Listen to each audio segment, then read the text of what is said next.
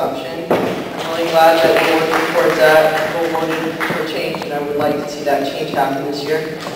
Um, Also, I'd like to say that I, I'm I'm sad and embarrassed that remote area medical has to come to places like Los Angeles to give people um, medical services in our country. Remote area medical is um, doctors providing free services that usually go to third world countries. Um, They, uh, there was a news report that I saw where they had people lining up from 3 o'clock in the morning in front of a stadium so that they could get free health care, um, just in a big room like this in Los Angeles. And I found that embarrassing. I think we can do better, especially when we're paying the most health care per citizen and then have the least amount of coverage for that. I've lived many years in countries where democracy was not very well practiced. What I'm struck with here is a town hall meeting that's boisterous but very healthy. I don't see the problem that the media has created thus far in this community.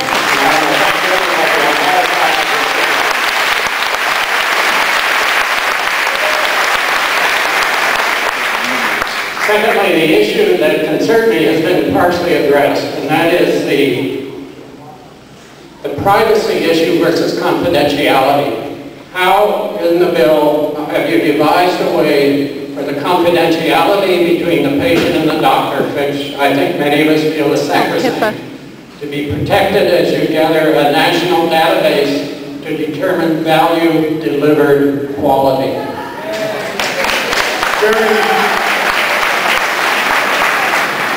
It's a really, really important question. I appreciate your question. We have been most, most dedicated to making sure that in any dissemination of information for scientific purposes, that it cannot be traced back to an individual uh, American citizen. And I believe we've been substantially successful. In this bill, which does not change the privacy laws of this country, when right now, when medical, uh, when medical studies are done, let's assume, I just, I had coffee with a doctor just down the street here. He has developed a new surgical procedure to your pituitary, not pituitary, a thyroid, part of your thyroid gland that, I didn't know this, was associated with osteoporosis. And he has discovered a way uh, to reduce the time of that from two hours to like 40 minutes by using a radiological technique. Now, when we go to assess the effectiveness of that new procedure, we need to look at, you know, if you do 100 of those, what happened to those 100 people? Did they live? Did they die? Did they get better? What happened? So what you have to do is you have to design a system so that in no way can the public get access to the private identity of those individuals. So when the study is published, when it goes outside the medical sphere, when the medical journal is published, it doesn't say John Jones of you know, Main Street Edmonds, this is what happened to him. No, no, no, no, can't do that. So the bill is very, very tightly drawn, not allowing dissemination of that private individual. What it will say is, 56-year-old male, uh, six foot two, 180, hypertension, and no history of cancer, this is what happened to him. But you don't have to identify them individually. Fear that I have about the public option is unintended consequences that could come as a result of the public option, which would, everybody would jump on board with the public option, and um, the private option would not necessarily be available any longer. They would go bankrupt.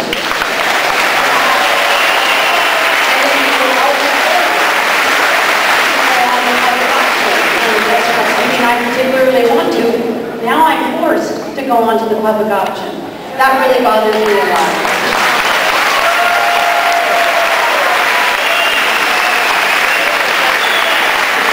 The other thing that, um, I like your, um, your chart there, that slide that you had where the costs have doubled since 1996. And have you looked at other options that, um, instead of the public option to lower those costs, like the lawyer, the lawyers, why not protect the doctors from, from all of these incredible fees? And have you seen what happened this last week in England with 40 children that were born in in incredible, horrible situation as a result of not enough hospital beds. Canada is bankrupt in their socialized medicine program.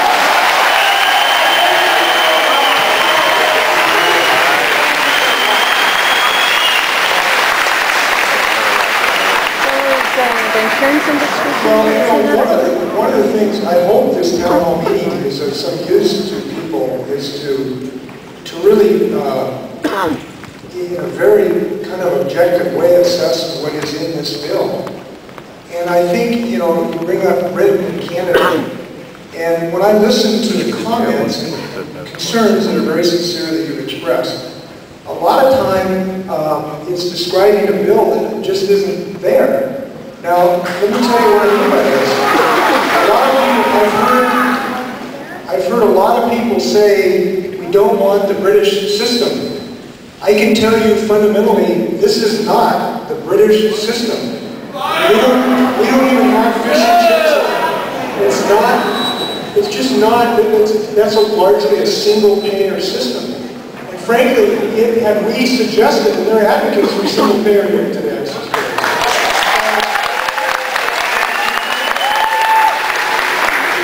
I guess the point I want to make is, there are kind of a hierarchy of how, how active government can be in our healthcare.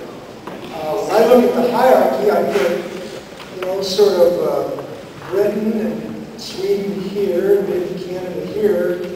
Uh, We're way kind of over here in this proposal. And the reason I say that is that this fundamental point, you still will have a choice. You will have a choice. Here's what the CBO has suggested about this. I've understood, I've understood your concern. When the CBO evaluated this, the way we have structured this, because we have prohibited the public option from being subsidized by the general fund, by the taxpayer, because we have mandated that it, that it must be financed solely by the premiums those who opt into the system, that's the money it will receive, it will not receive general tax money. Because we have insisted that it be self-supporting, if you will, self-supporting, that will not, uh, that will not result in the fear that insurance companies will dry up and go away. Now, the best assessment of this is done by the Congressional Budget Office. This is a group of professionals. They do not work for the Democrats. Do not work for Republicans. They're pointy-headed folks that, I say that with all respect, who spend a lot of time studying this. They studied the proposal that is on the table at the moment.